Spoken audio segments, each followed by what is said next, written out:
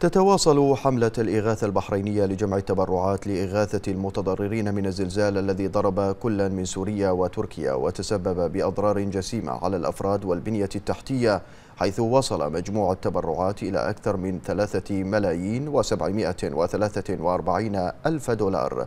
وكانت وزارة الإعلام قد نفذت بالتعاون مع المؤسسة الملكية للأعمال الإنسانية حملة وطنية لدعم ضحايا الزلزال في سوريا وتركيا. وقدم البحرينيون في الحملة التي جاءت بعنوان يوم التضامن أروع صور الفزع والتضامن مع الأشقاء في سوريا وتركيا المتضررين من الزلزال. وكان سمو الشيخ ناصر بن حمد ممثل جلالة الملك للأعمال الإنسانية وشؤون الشباب قد أكد على حرص المؤسسة على تقديم المساعدات الدائمة لبناء الإنسان والأرض والتي لها استمرارية في المنفعة وتنمية الإنسان.